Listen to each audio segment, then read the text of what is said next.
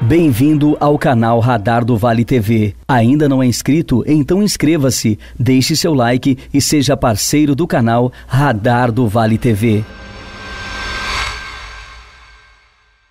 Uma colisão frontal entre um palio e um polo terminou em morte na BR-163, entre Santa Lúcia e Lindoeste, no Paraná. A colisão frontal ocorreu em um trecho de pista simples, na comunidade de Cerro Azul, e mobilizou várias equipes de resgate. Segundo informações, o condutor do polo, um homem de 47 anos, sofreu ferimentos leves e foi encaminhado ao hospital de Lindoeste.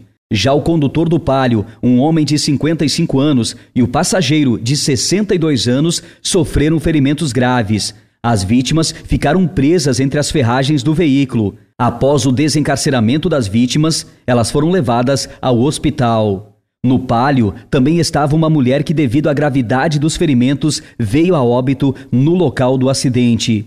A vítima fatal foi identificada como Maria Rosim, de 63 anos. O corpo da vítima foi levado ao IML de Cascavel. As causas do acidente serão investigadas pela polícia.